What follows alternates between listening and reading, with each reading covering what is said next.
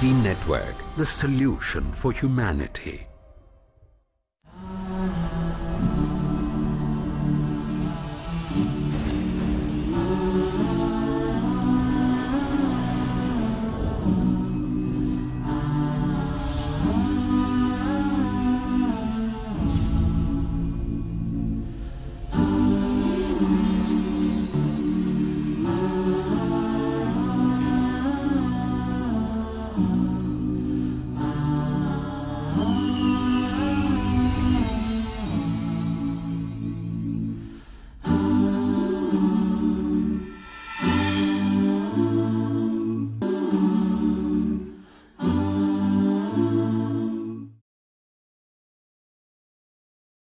السلام عليكم ورحمة الله وبركاته بسم রহমান الرحمن الرحيم الحمد لله والصلاة والسلام على رسول الله وعلى آله وأصحابه أجمعين ومن تبعهم بإحسان إلى يوم الدين اللهم جعلنا منهم بمنك وكرمك يا أرحم الراحمين أما بعد পৃষ্টি বাংলার দূরের কাছে সম্মানিত সুদী দর্শক পৃথিবীর যে জায়গা থেকে বসে আপনারা আমাদের সাথে অনুষ্ঠানে যোগ দিয়েছেন আপনাদের সকলকে আন্তরিক শুভেচ্ছা ও স্বাগত জানাচ্ছি মুসলিম সমাজে প্রচলিত কুসংস্কার আল্লাহ রব্বুল্লা আলমিন আমাদেরকে সৃষ্টি করেছেন।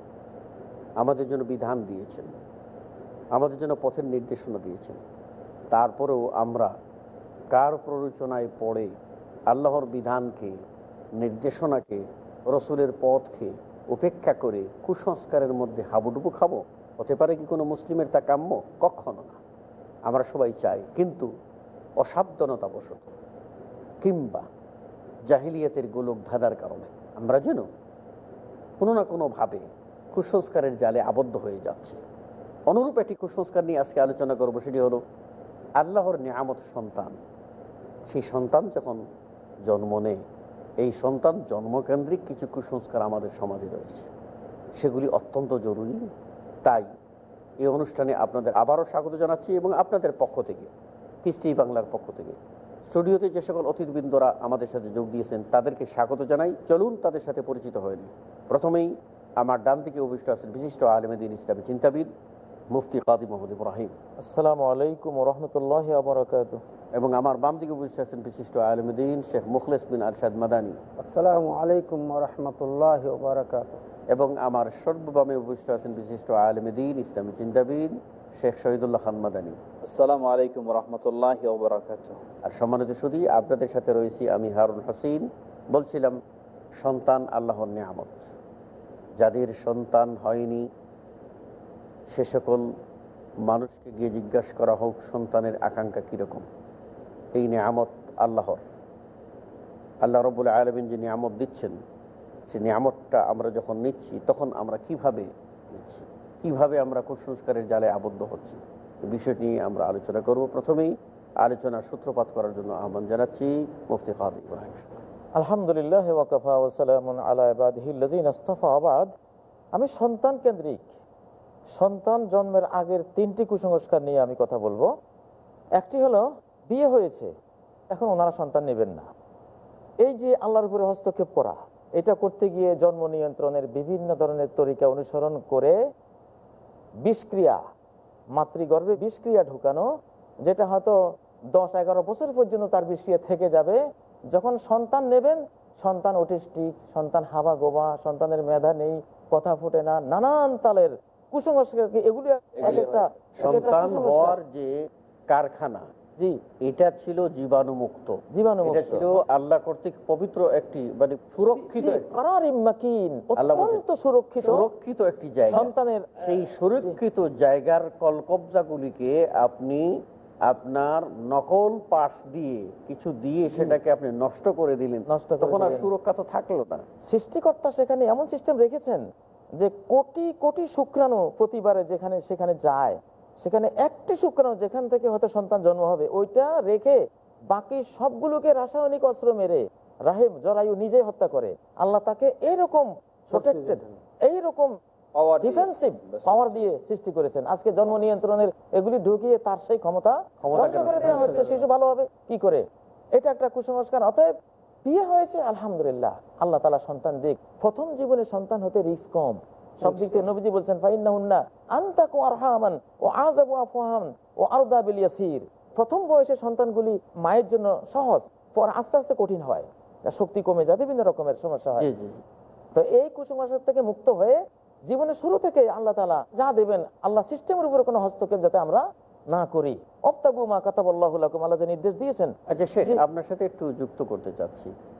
আসলে এই প্রগতির নামে প্রকৃতি পূজা হচ্ছে। জি। আর এই প্রকৃতি পূজারীদের গোলক ধাঁধায় হারিয়ে গিয়ে আমাদের এই সমাজ তারা আল্লাহর এই প্রকৃতিটাকে হ্যাঁ। বিনষ্ট করছে। বিনষ্ট করতেছে। বিশ্ব প্রকৃতিকেও আবার সন্তান যেখানে থাকবে ওখানে ওই প্রকৃতিটাকে বিনষ্ট করে দিচ্ছে। জি। এবং এক সময় দেখা যাচ্ছে জরায়ুর ক্যান্সার হচ্ছে। ক্যান্সার হচ্ছে সন্তান নষ্ট হচ্ছে। মা একটা ওষুধের মানে ডিসপেন্সারি প্রত্যেকটা মা এখন একটা ডিসপেন্সারিতে পরিণত হয়েছে। সারা বছর। তাকে ওষুধ খেতে হয়। আগে তো এমন ছিল না? ছিল না। অতএব এগুলি এক ধরনের কুসংস্কার। আর অতিরিক্ত ওষুধ সেবন সন্তান সম্ভব হলে অতিরিক্ত ওষুধ সেবন এটাও একটা কুসংস্কার। কারণ এখন এমন ঔষধ পৃথিবীতে এখন সৎ মানুষ কয়জন আছে? বিশ্বস্ত মানুষ কে আছে? ডাক্তার সাহেব এমন ওষুধ তিনি প্রেসক্রাইব করেন যেটা খেলে সিজার ছাড়া সন্তান হবেই না। বাধ্য করে আপনাকে সিজারে নিয়ে যাবে। বিশ্বব্যাপী মুসলমানদের সন্তান কমাবার জন্য এইরকম ঔষধও কিন্তু এরকম সিস্টেম করা আছে। আরেকটা হলো উনসা। আল্লাহই ছেলে সন্তান মেয়ে সন্তান আল্লাহ সৃষ্টি করেন। কোত্থেকে? নুতফাতিন ইজা তুমনা। পুরুষের শুক্রাণু থেকে যখন সেটা নিক্ষিপ্ত হয় তাহলে সন্তান মেয়ে হবে না ছেলে হবে? সেটা জন্য পুরুষ দায়ী। এখন একটা স্ত্রীর ঘরে মনে করেন পাঁচটা মেয়ে হলো সাতটা মেয়ে হলো বা তিন চারটা মেয়ে হলো বলে এই স্ত্রীটা খারাপ। বাপের বাড়িতে পাঠাই দাও। বেচারির জীবনে কত সরম কত কলঙ্ক যত দোষ ওনার অথচ যত দোষ সব পুরুষটার কারণ পুরুষের ক্রোমোজোমের মধ্যে যদি ওয়াই ক্রোমোজোম না থাকে স্ত্রী কখনো ছেলে জন্ম দেবে না। ওখানে পুরুষের ক্রোমোজোম হলো দুইটা এক্স ক্রোমোজোম এবং ওয়াই ক্রোমোজোম। মায়ের ক্রোমোজোম হলো একটা এক্স ক্রোমোজোম।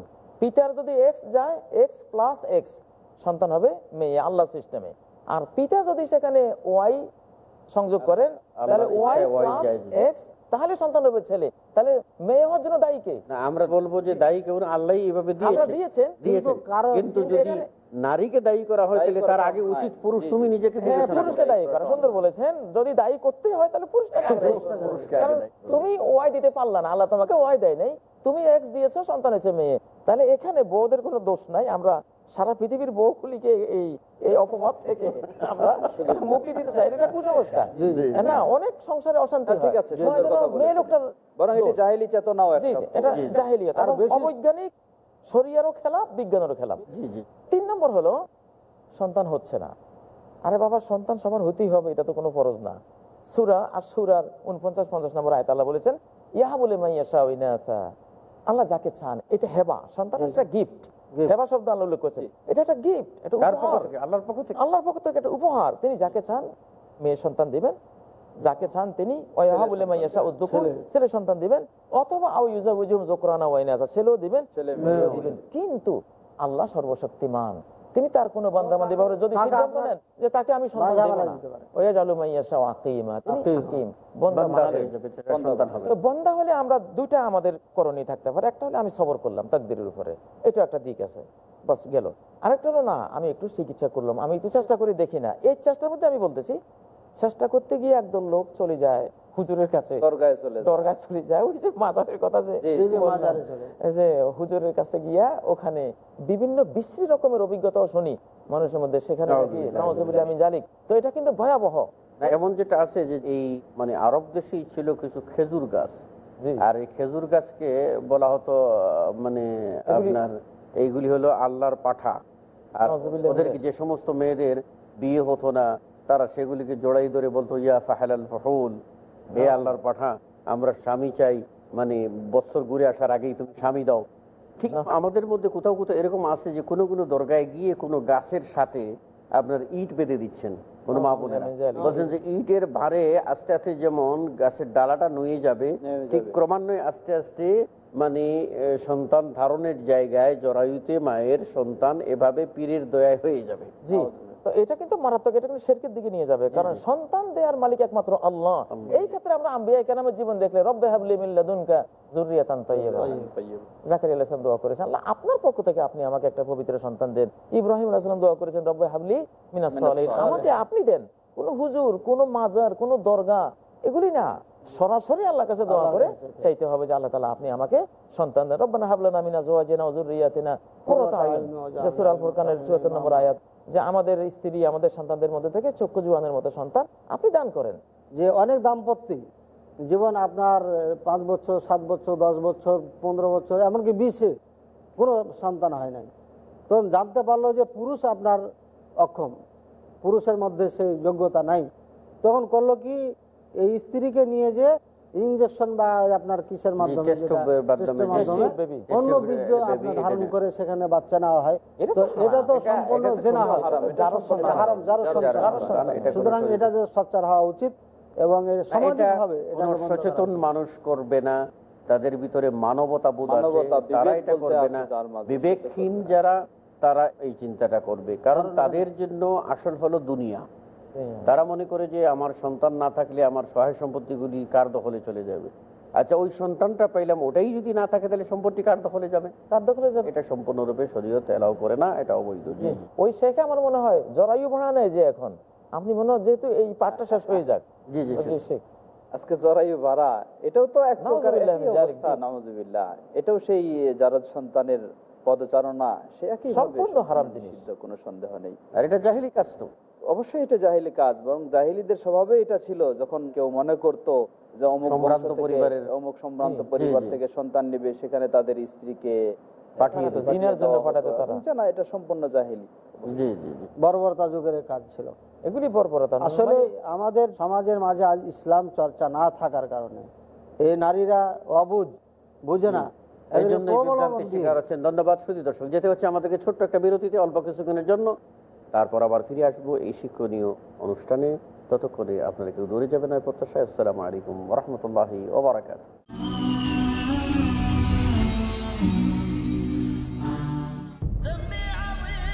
পরিষ্কার করতে হবে মনের ধূল। তা না হলে চোখ জবান করতে পারে ছোট বড় অনেক ভুল। শরীয়ত বিরোধী বহু কাজ। আমি মোহাম্মদ হাশেম মাদানি চোখ ও জীবের আপদ থেকে বাঁচতে চান তাহলে দেখুন চোখ ও জীবের উপর শুধু পিস টিভি বাংলায়। চোখ ও জিভের কুফর। আজ রাত এগারোটায় বা পুনঃ সম্প্রচার সকাল দশটায় বাংলাদেশে পিস টিভি বাংলায়।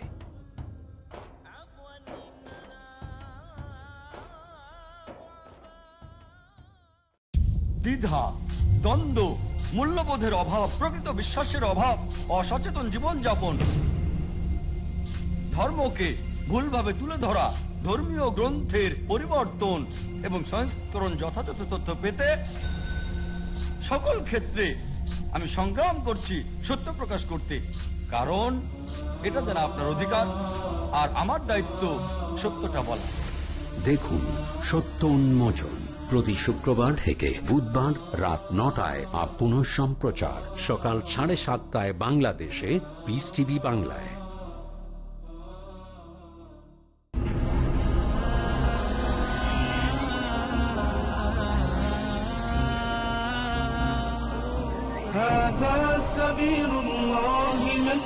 আল্লাহর হুকুম মানার নাম ইসলাম। আপনি ক্রেতা, জেনে নিন ইসলামের ক্রয় বিধান আপনি বিক্রেতা, জেনে নিন ইসলামের বিক্রয় বিধান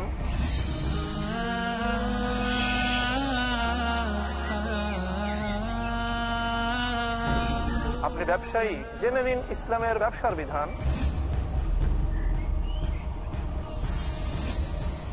মানতে হলে জানতে হবে। জানার জন্য দেখুন আমাদের অনুষ্ঠান শুধুমাত্র টিভি বাংলায়। هذا سبيل الله من يسلكه فاز بكل حمد ব্যবসা সম্পর্কে কি কি রয়েছে ইসলামের অনন্য নীতিমালা জানুন আমাদের অনুষ্ঠান যোগে ইসলামী লেনদেন পরবর্তী অনুষ্ঠান পিস টিভি বাংলায়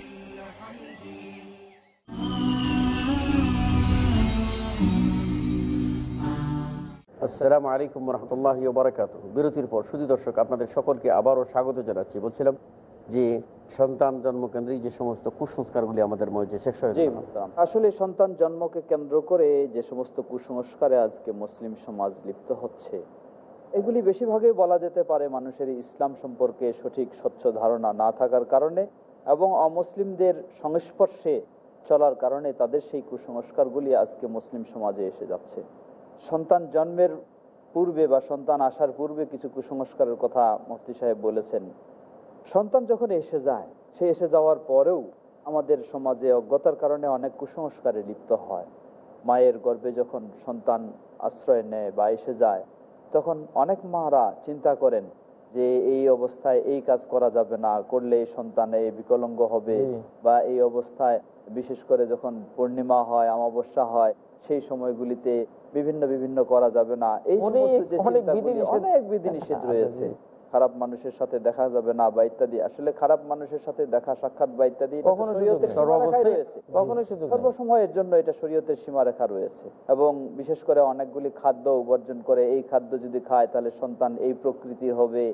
এইরকম হবে এই ধরনের কিছু আমাদের ডাক্তারি ভাবে সেটা হলে তো অসুবিধা নেই কিন্তু কুসংস্কার যদি যে- শারীরিক ভাবে। সুস্থতার চেক আপ করে সেটা একটা সিদ্ধান্ত দেয় সেটি ভিন্ন বিষয়। শেখ অনেক সময় দেখা যায় যে কিছু কিছু মায়েরা আছেন যারা যখন সন্তান ধারণ করেন আল্লাহ দিয়ে ক্ষমতা তখন দেখা যায় অনেক সময় আগে ভালো ছিলেন কিন্তু ওই সময় ডায়াবেটিস বেড়ে যায়। তখন চিকিৎসক ওই ডায়াবেটিস কন্ট্রোলের জন্য সন্তানের উপরে যেন রিস্ক না হয় মায়ের উপর রিস্ক না হয় সেজন্য বিধি দেয়। এটা তো হয়ে আমাদের সমাজে এখন দেখা যাচ্ছে যে যখন পেটের সন্তান এসে যায় তখন ঘরের মধ্যে সুন্দর সুন্দর বাচ্চাদের ছবি লটকানো হয়।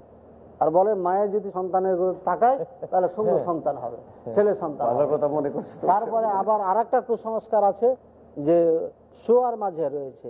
স্ত্রীর ডান পাশে বা বাম পাশে যদি শোয়ে তাহলে আপনার ই হবে ছেলে সন্তান হবে যদি বামে হয় তাহলে মেয়ে সন্তান হবে এই ধরনের একটা কুসংস্কার রয়েছে কিন্তু আসলে যে সবকিছুর অনুরূপভাবে মালিক আল্লাহ। আরও যে সমস্ত। সন্তান আসার পরে কুসংস্কার তার মাঝে বিশেষ করে সন্তান আসার আগেও যেমনই ভাবে পীর ফকিরদের কাছে অনেকভাবে ধর্ণা দিয়ে অনেক কিছু সংগ্রহ করা হয় সন্তান এসে গেলে তারপরেও এই সন্তান যেন সুস্থ সুন্দরভাবে জন্ম লাভ করে এজন্য অনেক ধরনের তাবিজ কবজ অনেক ধরনের বিভিন্ন যে অনেক বাড়িতেও দেখা যায় সন্তান আসার শুরুতেই দেখবেন যে দরজার মাঝে হয়তো একটা কাঁটাওয়ালা গাছ সেটাকে ঝুলিয়ে রেখেছে বা আরও একটা হয়তো কোনো কিছুই গেছে যেন কোন রকমের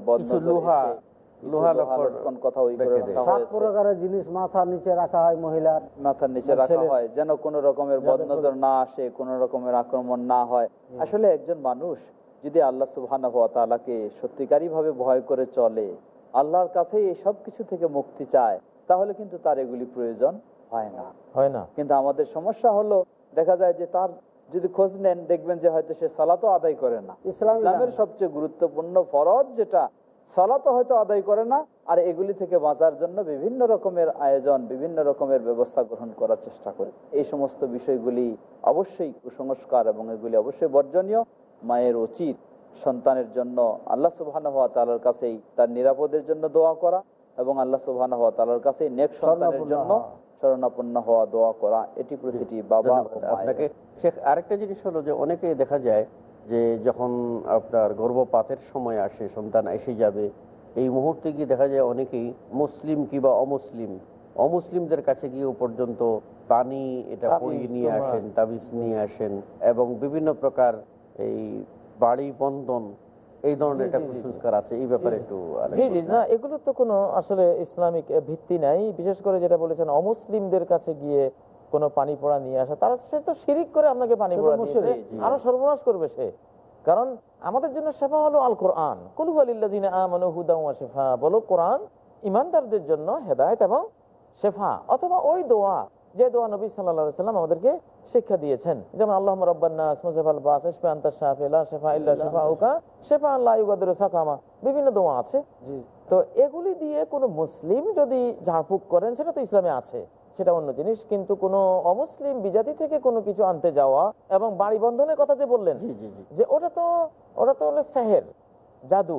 জাদু। ওমা কাফারা সুলাইমান ওয়ালাকিন্না শায়াতিনা কাফারু ইউআল্লিমুনান নাসা সিহরা। আল্লাহ ডাইরেক্ট বলেছেন সূরা আল বাকারাতে যে সুলাইমান কুফর করেনি জাদু করে জাদুর মাধ্যমে কুফরি করেছে শয়তান। শয়তানরা এটা শয়তানি কাজ বাড়ি বন্ধন করা এটা একটা শয়তানের কাজ এখানে বাঁচার জন্য মায়েদের যে আমরা বলে রাখি আমাদের অনুষ্ঠান থেকে যদি তিনি পাঁচ অক্ট সালাতের পরে আয়তুল কুরসি তিনি নিয়মিত পড়েন এবং পাঁচ অক্ট সালাতের পরে তিন কুল তিনি কুল যদি পড়েন। বিশেষ করে মাগরিবের পরে তিনবার করে এবং সূরা, মাগরিবের ফজরের পরে তিনবার করে। এবং ঘুমাবার আগে যদি হাতের মধ্যে তিনি তিন কুল পড়ে নবীজির তরিকায় তিনি যেভাবে এবং আমরা বলব যে এই সময়ে তিনি হতাশায় মুজ্জমান না হয়ে আমরা বলব যে তিনি যেন জিকির আজকার কোরআন তেলাওয়াত যেটা এগুলির মধ্যে মশগুল থাকবেন। জি নবীজি বলেছেন আল বাইতুল্লাহ ইউকরাউ ফি সূরাতুল বাকারা ইয়ানফিরু মিনাশ শায়তান যেই ঘরে সূরা বাকারা তেলাওয়াত করা হয় শয়তান পালিয়ে যায়। জিন সব পালিয়ে যায়। তাহলে তিনি সূরা বাকারা নিজে বাকারা সকাল এবং সন্ধ্যা তেলাওয়াত না আছে ক্যাসেট বাজাতে পারে। জি, জি, তিনি এগুলি করতে পারেন। তারপর শেখ যেটা দোয়ার কথা বলেছেন আসলে মোহতারাম এই যে এই সময়ে যে আশঙ্কাগুলি করে থাকে এটাও কিন্তু একটা হলো ফলাফল যে প্রাথমিক পর্যায়ে সন্তান না নিয়ে বিভিন্ন রকমের যখন ই করা হয় এগুলির কারণে তখন সন্তান হয়তো কনসেপ্ট হচ্ছে কিন্তু নষ্ট হয়ে যাচ্ছে। আবার অকালে গর্ভপাত হয়ে যাচ্ছে। এগুলিও কিন্তু একটা বড় ধরনের কারণ হ্যাঁ, যে হ্যাঁ। প্রাথমিক জীবনে সন্তান না নিয়ে বিভিন্ন ঔষধ সেবন বা হ্যাঁ, পরে গিয়ে- করে তখন এই সমস্যায় পড়ে যায় তখন আবার বিভিন্ন জনের কাছে ধর্ণা দিয়ে মানে প্রথম অন্যায়টা কিন্তু স্বামী স্ত্রী করল। এক অন্যায় সব অন্যায়গুলিকে নিয়ে আসে। জি জি জি। এক অন্যায় সব অন্যায় একটা অস্বাভাবিক জিনিস অস্বাভাবিক প্রক্রিয়া গ্রহণ করার কারণে তো জিনিসটা আল্লাহ দেয়া নিয়মের মধ্যে থাকল না। জিনিসটা। আরেক রকম হয়ে গেল। তো আসলে তো সন্তান যাই হোক সন্তানের ব্যাপারে মা বাপের দোয়া একটা বিরাট জিনিস।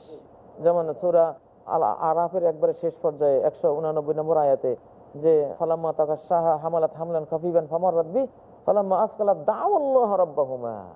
যখন স্ত্রী বুঝলো যে সন্তান হয়েছে আস্তে আস্তে ভারী হয়ে যাচ্ছে তখন তারা দুজনেই সবচেয়ে বড় ক্ষেপণাস্ত্র। এটাই বড় ঔষধ বড় চিকিৎসা। সবচেয়ে বড় চিকিৎসা। সবচেয়ে বড় এটাকে কি বলে ওই যে গাইনি বিদ্যা যেটা সবচেয়ে মানে সন্তান জন্মের নিরাপদের মাধ্যম সবচেয়ে বড় হলো সবচেয়ে বড় যেটা। জাকারিয়া আলাইহিস সালাম সুবহানাল্লাহ, এটা একদম পরীক্ষিত। আমরা আমাদের ব্যক্তি জীবনে পরীক্ষা করে দেখেছি। বরং এখানে দুটো দিকও রয়েছে। একটা হলে এই অবস্থাও নিরাপদ হবে পরবর্তীতে যে সন্তান এসে যাবে আল্লাহ সুবহানাহু ওয়া তাআলা সেই সন্তানকেও আদর্শ আচ্ছা আমরা কি এখানে ইমরানের স্ত্রী কাছ থেকে শিক্ষা নিতে পারি না? হ্যাঁ, যে তিনি নিজে দোয়া করছেন আল্লাহ আমি আমার যে সন্তানটা হবে বিহা। তোমার কাছে আশ্রয় চাচ্ছি সন্তান-। যে আল্লাহ তোমার কাছে আশ্রয় চাচ্ছি আমার যে সন্তানটা দিবে তাকে যেন শয়তান আশ্রয় না করতে পারে এবং তার যে সন্তানটা হবে সেটাকেও জন্য- আমরা নগদ না? এখানে তিনি যে সন্তানটার সম্ভাবা সন্তান সম্ভাবা তখন মা নিজে দোয়া করছেন যে আমার সন্তান যেটা হবে এটা যেন শয়তান আশ্রয় না করে। সুন্দর কথা না করে। জি এটা একটা কিন্তু বিরাট মূল নীতি সন্তানকে সেভ করার জন্য। দেখেন এইটার ধারাবাহিকতাই সহি বুখারিতে যে হাদিসটা এসেছে লাউ আন্না আহাদাকুম ইজা আতা আহলাহু। ক্বালা বিসমিল্লাহি আল্লাহুম্মা। জান্নিবনা শাইতান ওয়া জান্নিবি শাইতানা শাইতানা মা মা রাযাকতানা রাযাকতানা।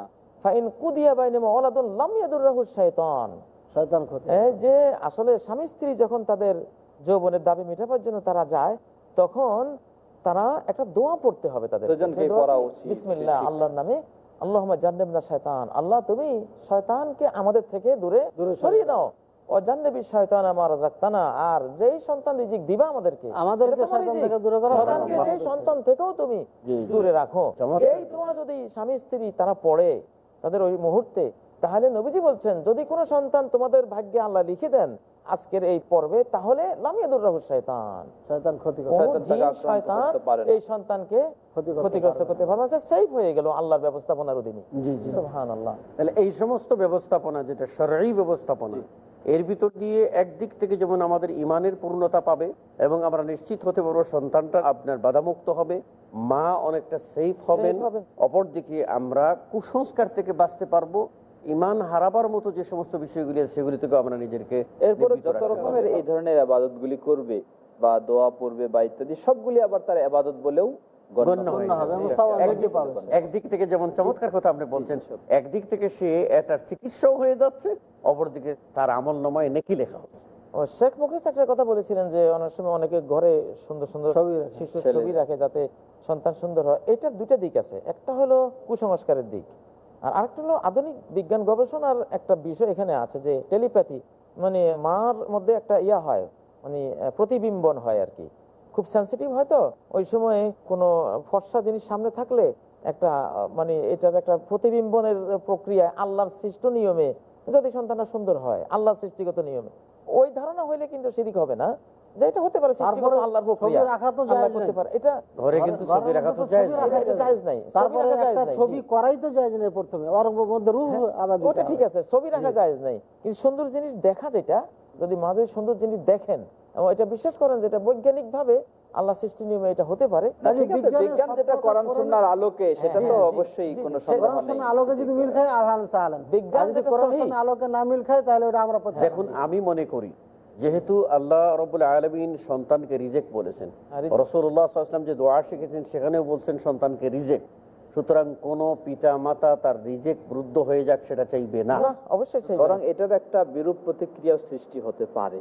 তা হলো কোনো মা যদি সন্তান আসার আগেই সুন্দর সুন্দর ছবিগুলির দিকে আকৃষ্ট হয়ে থাকে মনের এরকম একটা চাওয়া কামনা বাসনা পরবর্তীতে হয়তো বা সেই ধরনের সুন্দর সন্তান যদি না আসে তখন মনের মাঝে তার একটা আরও।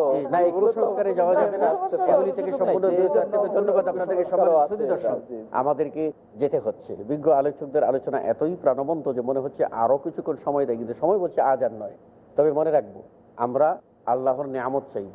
আল্লাহ যেভাবে চাইতে বলেছেন, তার রসুল আসলাম যেভাবে চাইতে বলেছেন, যে আমলগুলি রসুল আসলাম করতে বলেছেন সন্ন্যত মোতাবেক সে দোয়াগুলি পাঠ করব, কোরআন তেলাওয়াত করব, আল্লাহর কাছে সাহায্য চাইব, তাহলে আমাদেরকে আর কোনো প্রকার কুসংস্কার, এমনকি কুফুরিতে যাওয়ার কোনো সম্ভাবনা আর থাকবে না। আসুন আমরা ইসলামকে বুঝি, তাহলেই কুসংস্কার থেকে মুক্ত থাকতে পারব। আল্লাহ রবুল আলমিন আমাদের সকলকে তো অভিজ্ঞান করুন, আমিন। আসসালামু আলাইকুম রহমতুল্লাহি ওবরাকাত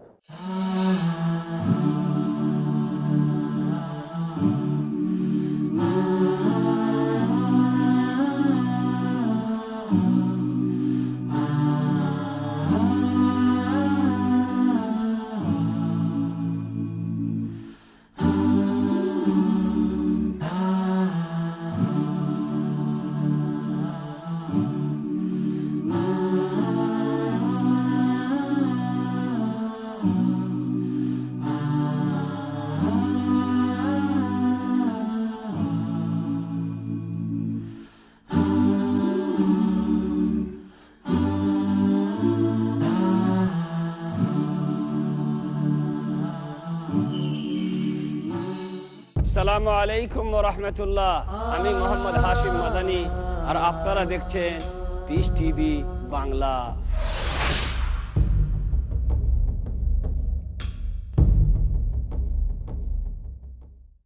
সৃষ্টিকর্তাকে জানার জন্য ইসলামের রকম সমূহ মেনে চলার গুরুত্ব কি?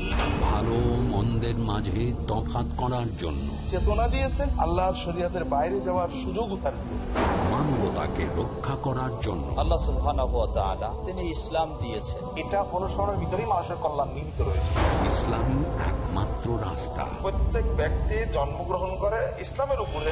মুজফার বিন মহসিন ডক্টর আব্দুল্লাহ জাহাঙ্গীর শেখ শাহিদুল্লাহ খান মাদানী আহমদুল্লাহ বিন মোহাম্মদ তেলবর হুসেন হারুন হুসেনের উপস্থাপনায়। ফেতরতের দাবি মানুষ ধর্ম মানতে পারে আল্লাহ সুবহানাহু ওয়া তাআলার কাছ থেকে ইসলাম আমাদের কাছে এসেছে। ধর্মের মধ্যে ইসলামে আল্লাহ মনোনীত দিন। প্রতিটি বিধান আল্লাহ তাআলা যেটা দিয়েছেন এটা মানুষের কল্যাণে। ইসলামের অনন্য গুণাবলী জানতে দেখুন আমাদের অনুষ্ঠান ইসলাম মানার দুনিয়াবি ফায়দা। আজ রাত সাড়ে নটায় বা পুনঃ সম্প্রচার সকাল আটটায় বাংলাদেশে পিস টিভি বাংলায়।